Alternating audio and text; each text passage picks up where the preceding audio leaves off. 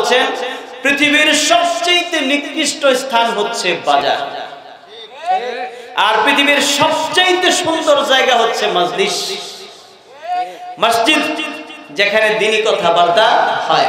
এখানে বসে আপনি নেকি অর্জন না করলেও গুণা বর্জন করতে পারেন। এই পৃথিবীর ভিতরে মানুষ বিভিন্ন দলে বিভক্ত। রাব্বুল আলামিন বলছেন যে মানুষের মধ্যে দল হচ্ছে দুইটা। দুইটা দল থাকবে মানুষের মধ্যে। একটা দল থাকবে আসহাবুল মাইমানা, আরেকটা দল হবে আসহাবুল মাসআমা একটা ডানপন্থী, আরেকটা হবে বামপন্থী। মেরাজ রজনীতে আল্লাহ মেরাজের রাতে আল্লাহর সাথে যখন সাক্ষাৎ করতে গেলেন, সেখানে তো অনেক ঘটনা। এখানে একটা কথা হচ্ছে, রাসুল সাল্লাম দেখলেন হজরত আদম আলাইসাল্লাম যখন ডান দিকে তাকায়, তখন হাসে। আবার যখন বাম দিকে তাকায়, তখন কাঁদে। জিজ্ঞেস করা হয়েছে, তিনি কেন কাঁদেন? বলছে, ডান দিকে যেই সন্তান আদমের যে সকল সন্তান, আমরা কি আদমের সন্তান না? আমরা আদমের সন্তান। ডান দিকে যে সকল সন্তান দেখা যায়, এরা হচ্ছে আসহাবুল মাইমানা, এরাই হচ্ছে জান্নাতের অধিবাসী। আর বাম দিকে যারা, তারা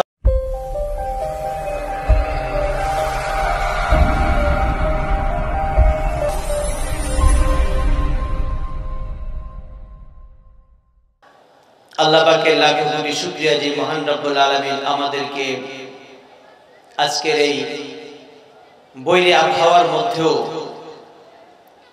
এই মজলিসকে কবুল করেছেন, এই মজলিসকে করার মতো তৌফিক দান করেছেন। গোটা কিছু সংখ্যক লোক আমরা মজলিসে আসতে পেরেছি। অনেকে আসতে পারে নাই।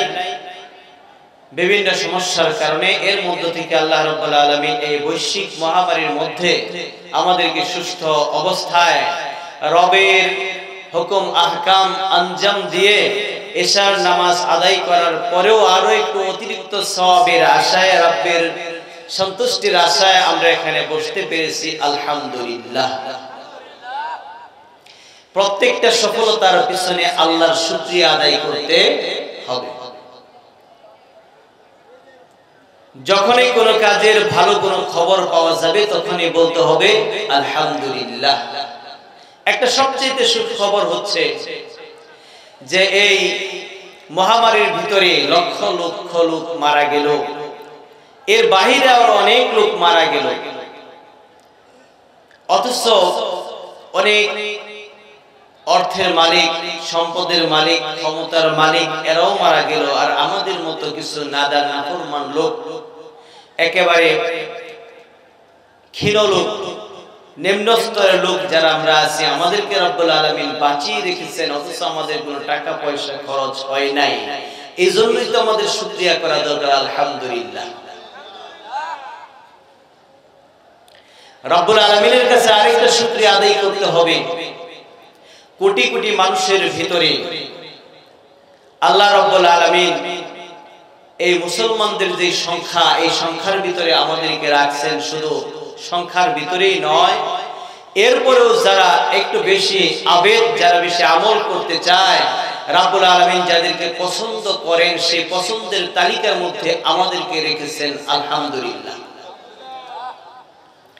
একটা জান্নাতের বাগান, এই যে প্যান্ডেল যতটুকু করা হয়েছে, যদিও প্যান্ডেল এখন নাই, তারপর এটার ভিতরে যে জায়গাটুকু আছে, এই জায়গাটুকু রাসুল সাল্লাহ আলাইসাল্লামের ভাষ্য মতে ফেরেস্তারা চতুর্দিক দিয়ে এই জায়গাটাকে বেষ্টন করে রেখেছেন, এখানে আল্লাহ রহমত নাজিল হচ্ছে।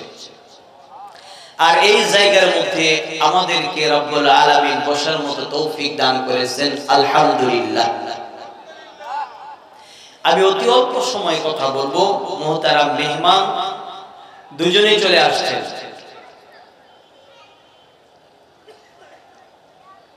একজন কিছু নাস্তা খাচ্ছেন, একটু বিশ্রাম নিচ্ছেন, উনি আসলে আমি ছেড়ে দেব।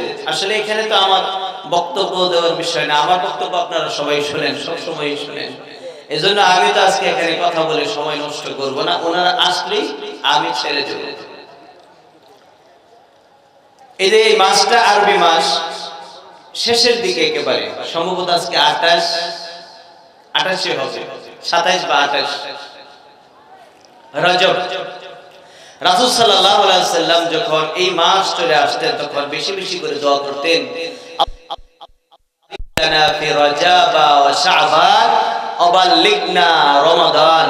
আল্লাহ, তুমি এই রজব মাসের মধ্যে আমাদের জন্য বরকত দান করো আর সাবান মাসের মধ্যে বরকত দান করো, আর রমজান মাস আমাদের ভাগ্যে নসিব করো।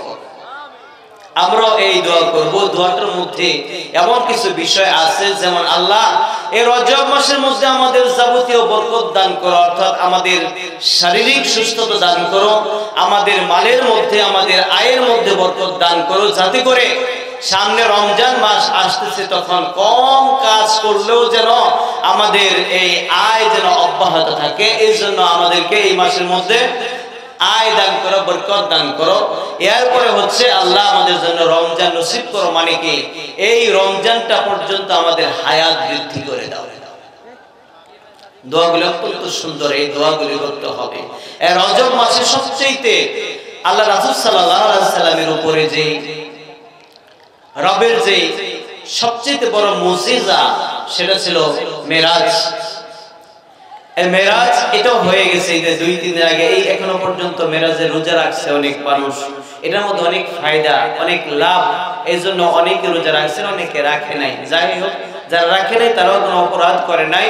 যারা রোজা রেখেছেন, তারা লাভ করেছেন অনেক। ফজিলত অর্জন করেছেন, জীবনের মূল্যবান সময়টাকে তারা কাজে লাগিয়েছেন। রাব্বুল আলমিন আমাদেরকেও প্রতিটা মুহূর্তে মুহূর্তে আমাদের মূল্যবান সময়টাকে কাজে লাগানোর মতো তৌফিক দান করুন। এটা শব্দ করবেন? অনেক দূরে থাকলে তো কথা বোঝা যায় না, আপনারা কথা আমার কথা বুঝছেন কিনা, এটাও তো আমি বুঝি না। বললাম যে একটু সামনে আগে আসেন, আগাইলেন না। সামনে বিছানাগুলো আসলে শুকায় গেছে। ইচ্ছা করলে বসা যাবে। এরপরে কষ্ট হলে থাক। কষ্ট হলে আসার দরকার নাই। বাবা টার্গেট লাইট মারো না। টার্গেট লাইট মারলে তো আমারও কষ্ট হয়, তোমাদেরও কষ্ট হবে। এই লাইট মারো না। লাইট অন্যদিকে মারো। এই যে এখানে আমরা হিসাব করলে দেখা যাবে আমাদের এই মাহফিলের চতুর্দিকে মানুষের সংখ্যা হবে কম পক্ষে পাঁচশো। আর আমাদের স্টেজের ভিতরে মানুষ, গোটা কয়েকজন আছে, এর বাকি সকল মানুষ কোথায়? এরা সবাই কোথায় আছে? ওই বাজারের ভিতরে আছে। বাজারের ভিতরে থাকলে একটু ভালো লাগে। বাজারের ভিতরে থাকলে ভালো লাগে। ওখানে বিভিন্ন ধরনের আওয়াজ হয়, অনেক কিছু খাওয়া যায়, এজন্য ভালো লাগে। অথচ এই যে মূল্যবান সময়, এই সময়টাকে যদি আপনি এখানে কাজে লাগাতেন, দুই চার কথা শিখেন আর নাই শিখেন, এটার ভিতরে আসার ফলে আপনি গুণামুক্ত থাকতেন। এই কথা ঠিক না? আর বাজার রাসুল সাল্লাম বলছেন পৃথিবীর সবচেয়ে নিকৃষ্ট স্থান হচ্ছে বাজার। আর পৃথিবীর সবচেয়ে সুন্দর জায়গা হচ্ছে মসজিদ মসজিদ যেখানে দিনই কথাবার্তা হয়। এখানে বসে আপনি নেকি অর্জন না করলেও গুণা বর্জন করতে পারেন। এই পৃথিবীর ভিতরে মানুষ বিভিন্ন দলে বিভক্ত। রাব্বুল আলামিন বলছেন যে মানুষের মধ্যে দল হচ্ছে দুইটা। দুইটা দল থাকবে মানুষের মধ্যে। একটা দল থাকবে আসহাবুল মাইমানা, আরেকটা দল হবে আসহাবুল মাসআমা একটা ডানপন্থী, আরেকটা হবে বামপন্থী। মেরাজ রজনীতে আল্লাহ রাসূল সাল্লাল্লাহু আলাইহি ওয়াসাল্লাম মেরাজের রাতে আল্লাহর সাথে যখন সাক্ষাৎ করতে গেলেন, সেখানে তো অনেক ঘটনা। এখানে একটা কথা হচ্ছে, রাসুল সাল্লাম দেখলেন হজরত আদম আলাইসাল্লাম যখন ডান দিকে তাকায়, তখন হাসে। আবার যখন বাম দিকে তাকায়, তখন কাঁদে। জিজ্ঞেস করা হয়েছে, তিনি কেন কাঁদেন? বলছে, ডান দিকে যেই সন্তান আদমের যে সকল সন্তান, আমরা কি আদমের সন্তান না? আমরা আদমের সন্তান। ডান দিকে যে সকল সন্তান দেখা যায়, এরা হচ্ছে আসহাবুল মাইমানা, এরাই হচ্ছে জান্নাতের অধিবাসী। আর বাম দিকে যারা, তারা হচ্ছে আসহাবুল মাসআমা এরা হচ্ছে জাহান্নামী। যখন জাহান্নামীদের দিকে তাকায়, তখন আদম আলাইহিস সালাম সন্তানের জন্য কাঁদে। রাসূল সাল্লাল্লাহু আলাইহি সাল্লাম বললেন যে, আমি মেরাজ থেকে নিয়ে আসছি তিনটা জিনিস। তিনটা জিনিসের মধ্যে একটা হচ্ছে আমি আমার উম্মতের জন্য ক্ষমা নিয়ে আসছি। কি নিয়ে আসছে? ক্ষমা নিয়ে আসছে। আল্লাহ রব্বুল আলমিনের যে রাগ, যে ক্রোধ, আল্লাহ রব্বুল আলমিনের রাগ এবং ক্রোধকে রাব্বুল আলমিনের রহমত এবং দয়া প্রশমিত করে দিয়েছে। সুবহান আল্লাহ মানে রাগকে দয়া নিভায়া দিয়েছে। এটাকে আমাদের জন্য বিরাট বড় পাওয়া না। সুতরাং সময়টাকে কাজে লাগান, যারা এদিক সেদিক ঘোরাফেরা করছেন, ওই জান্নাতের মেহমান খানায় চলে আসেন, জান্নাতের প্যান্ডেলের ভিতরে চলে আসেন। ফেরেশতারা এখান থেকে যাবে, যাওয়ার পরে রাব্বুল আলামিন জিজ্ঞেস করবেন যে, বেড়াইতে চালার মধ্যে যে এতগুলি মানুষ দেখে আসছো, ওই দিকে ঘোরাফেরা করছে আর কিছু সংখ্যক লোক, এরা এখানে কেন বসে আছে? এদের কি লাভ? কি চায় এরা? ওখানে যারা আছে, তারা তো কোনো না কোনো লাভে আছে। কে ব্যবসা করতেছে, লাভ হবে। কেউ কিনে খাচ্ছে, লাভ হবে। কেউ রিল্যাক্স করছে, লাভ হবে। আর কেউ দেখা গেছে বাড়িতে বাড়িতে এই দোকানের পাশে বসে টেলিভিশন দেখতেছে, কানের মধ্যে আওয়াজ যাচ্ছে। হয়তো ভলিউমটা বাড়ানোর কারণে এখন আওয়াজ আর যায় না। আর অন্যান্যরা যারা, তারা হয়তো মনোযোগ দিয়ে শুনতেছে। আবার কেউ রাস্তাঘাটে দাঁড়ায় দাঁড়া ওয়াজ শুনতেছে। ওয়াজ শোনার যে ফায়দা, তারা সেটা পাবে। কথা শোনার যে ফায়দা, তারা সেটা পাবে। কিন্তু যারা প্যান্ডেলের ভিতরে আসছে, তাদের ব্যাপারে রাসুল সাল্লাহ সাল্লাম বলেন যে ফেরেস্তারা যখন যাবে, তখন জিজ্ঞেস করা হবে, এরা কারা? অমুকের ছেলে, অমুক, অমুকের ছেলে, অমুক পরিচয়গুলি দেওয়া হবে। যারা তারা এখানে কি করে? এই যে বিকালবেলা বৃষ্টি হলো, তারা তো না আসলেও পারত। নিচে ফ্লোরটা একেবারে ভিজা ভিজা অবস্থায়, ভিজা ভিজা অবস্থার ভিতরে তাদের এখানে বসে থাকার কি দরকার ছিল? এই কষ্ট তারা কেন করছে? ইচ্ছে করলে তারা ঘুমাইতে পারতো। এই কাজ করার পরে তারা ঘুমাইতে পারতো। তারা এখানে কেন আসলো? ফেরেস্তারা বলবে, আল্লাহ, এরা দেখে আসলাম জিকিরত অবস্থায় আছে। একজন কথা বলতেছে, বাকিরা মনোযোগ সহকারে শুনছে। এরা কি চায়? বা আল্লাহ, এরা তো তোমার জাহান নামের ভয়ে কাঁদে। আবার তারা তোমার জান্নাতের আশাও করে। রাব্বুল আলামিন জিজ্ঞেস করবে যে এরা কি আমার জান্নাত, আমার জাহান্নাম, এগুলি দেখছে? বলবে, না, যদি দেখতো, তাহলে জাহান্নামের ভয় আরও বেশি বেশি কাঁদতো। আর জান্নাতের আশায় তারা ছেড়ে দিত। তাহলে তোমরা সাক্ষী থাকো, আমি এদেরকে সব দিয়ে দিলাম। জান্নাত দিলাম জান্নাত থেকে মুক্ত করলাম, জীবনের সব গুণাগুলিকে মাফ করে দিলাম। ফেরেস্তারা বলল, আল্লাহ, এরা সবাই এখানে বসছে। কিন্তু কিছু লোক যে আসছিল মোবাইল নেওয়ার জন্য টাকা নেওয়ার জন্য দেখা করার জন্য বিল নেওয়ার জন্য এরাও তো পরে বৈশাখ করছিল তাছাড়া ওয়াজ শোনার জন্য আসে না রাব্বুল আলমিন বলবেন যে এরা যেহেতু এখানে আসছেই ভিতরে যখন বসেই পড়েছে এই জন্য তাদের অন্তর্ভুক্ত করে আমি তাদেরকেও মাফ করে দিলাম।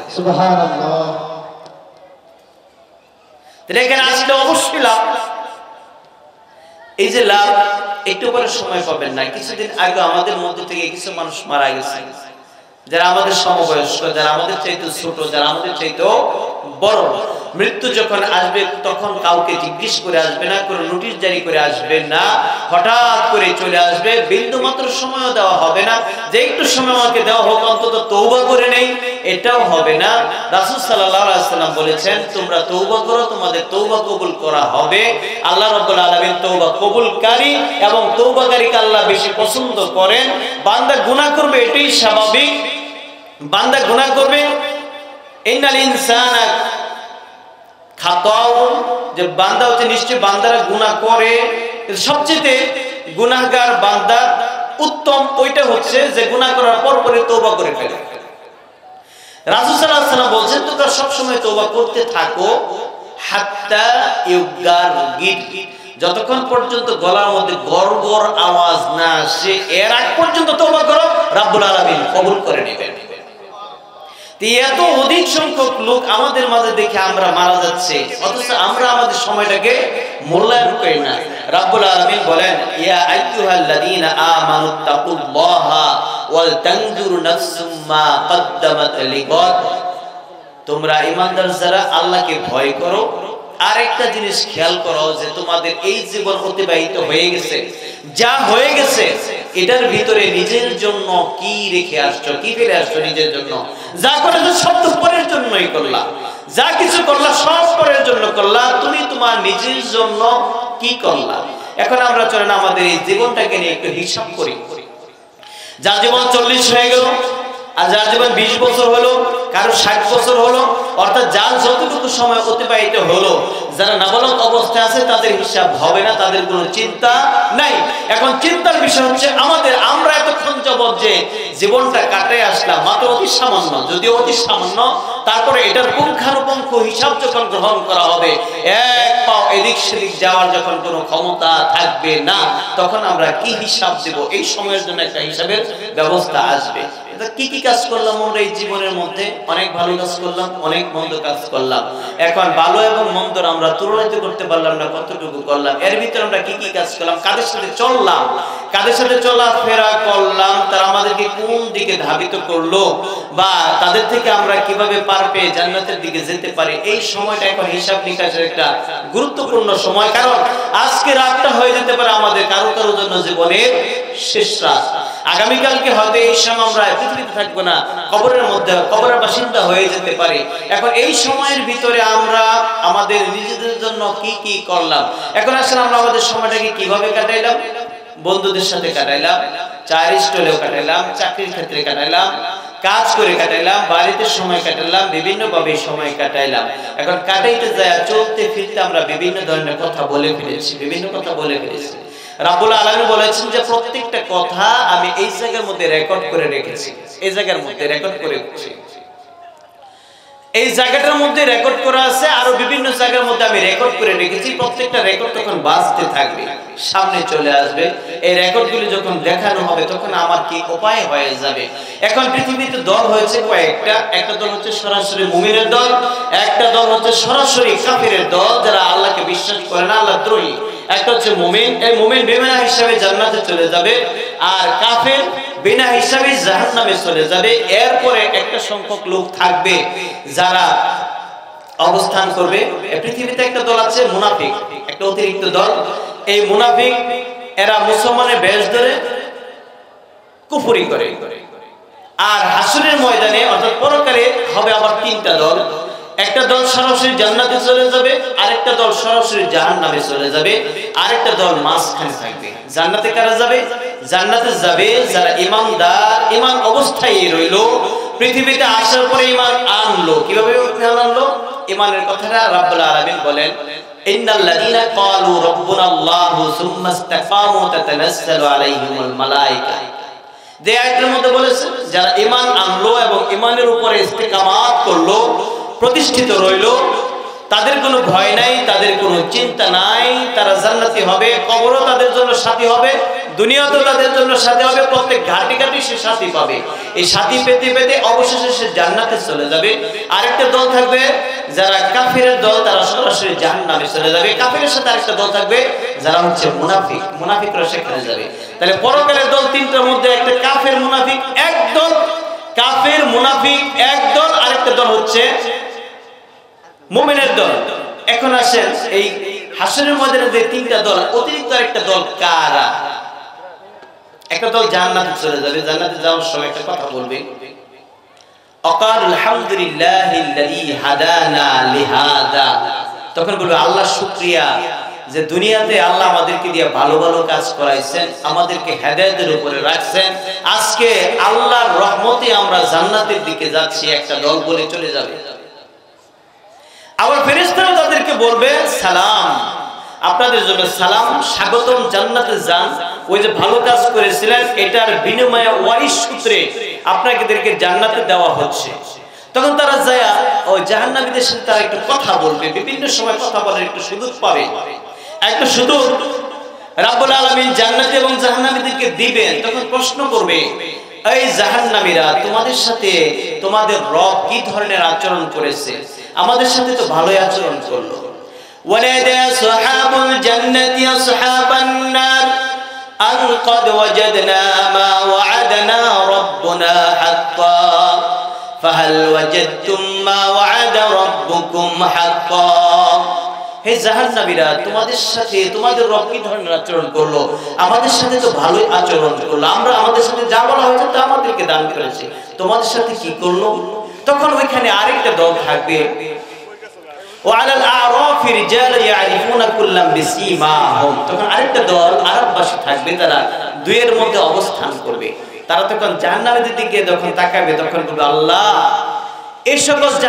অন্তর্ভুক্ত আমাদেরকে করো না। দিক দিকে তখন তাকাবে, তখন বলবে তোমাদের প্রতি সালাম, তোমরা জান্নাতে প্রবেশ করো, এখানে তোমরা শান্তিতে বসবাস করো। আবার ওই ওদেরকেও বলবে যে ওই দুনিয়াতে চলতে ফিরতে কিছু অহংকারী লোক যারা আমাদেরকে মস্করা করে, টিটকারি করে, আলেম ওলামাদেরকেও যারা লাঞ্ছিত করে, বঞ্চিত করে, যারা পৃথিবীতে অপচয় করে এবং যারা কুশাসন প্রতিষ্ঠিত করে, যারা জুলুম করে, এদের ব্যাপারে বলবে, দুনিয়াতে তো আমাদেরকে অনেক লাঞ্ছনা গঞ্চনা করেছে, আমরা জান্নাতে যাব না। আজকে তোমরা এখানেই থাকো। ওই যে তোমাদের সেদিনের কথাগুলি কি মনে আছে? আহা, উলাইল্লাযিনা আকসামতুম লা ইয়ানালাহুমুল্লাহু বিরাহমা। তোমরা বলেছিলে, এই গরিবের দল, ফকিন্নির দল তোরা ইসলাম গ্রহণ করেছিস, তোরাই তো এই পাঞ্জাবিওয়ালা টুপিওয়ালা। তোদেরকে এই দুনিয়া তো তোরা সুখ পাইলে না, পরকালেও পাবে না। আজকে দেখো আমাদের অবস্থা। তখন এই সকল লোকগুলি এই যে দীর্ঘ একটা সময় চলে যাবে, যাওয়ার পরে ওই জাহান্নামীরা তখন কাঁদতে থাকবে, কাঁদতে কাঁদতে কাঁদতে কাঁদতে। তখন ফেরেশতারা জিজ্ঞেস করবে কাদসকে কার জন্য কাদস? দুনিয়াতে তো কাদসটা বলবে। ওই যে জান্নাতে আমার আছে, আমার বাপ আছে, আমার ভাই আছে, আমার ভাতিজা আছে, এরা আমাদেরকে কিছু সাহায্য করবে। এদের সাথে একটু কথা দাও। তখন যা বলবে, ওই আমার আত্মীয় স্বজন, তোমরা আসো, একটু আমাদেরকে সাহায্য করো। কি সাহায্য করো ونادى صحاب النار أصحاب الجنة أن أفيضوا علينا من الماء أو مما رزقكم الله তখন বলবে ও জান্নাতীরা দীর্ঘদিন যাবৎ কাঁদতেছি কাঁদতে কাঁদতে চোখের দিয়ে রক্ত বের হচ্ছে রক্ত বের হওয়ার পরে আবার চোখের মধ্যে এত ক্ষত হচ্ছে নৌকা চলবে ওই যে মৃত্যু থেকে হাসর সিরাত পর্যন্ত দুঝোক এই সকল ঘাটিতে ঘাটিতে এত তৃষ্ণা এত তৃষ্ণা, এক ফোঁটা পানি পেলাম না। তোমরা তো আমার আত্মীয় স্বজন, তোমরা জান্নাতের মধ্যে আসো একটু পানি উপর থেকে ফেলে দাও, একটু পানি পান করে গলাটাকে একটু ভিজিয়ে নিয়ে হয়তো একটু শান্তি পাবো। আর না হয় তোমাদের খাবার থেকে একটু জুটা আমাদের জন্য ফেলে দাও। তখন তারা চুপ করে থাকবে পরে বলবেন না, তোমাদের জন্য এটা হবে না। আল্লাহ রাব্বুল আলামিন তোমাদের মতো জাহান্নামীদের জন্য জান্নাতের খাবারগুলিকে হারাম করে দিয়েছেন। কথা আর বাড়াবো না। হুজুর চলে আসছেন, মেহমান, দাওয়াতি মেহমান। ওনাদেরকে কথা বলার সুযোগ আমি তো কথা অনেক সময় বলি জুম্মান নামাজ আপনারা আমার কথা শুনেন। আল্লাহ রাব্বুল আলামিন আমাদের সকলকে এই দুনিয়ার মধ্যে সঠিক পথের উপর টিকে থাকার মতো তৌফিক দান করুন। আসসালামু আলাইকুম।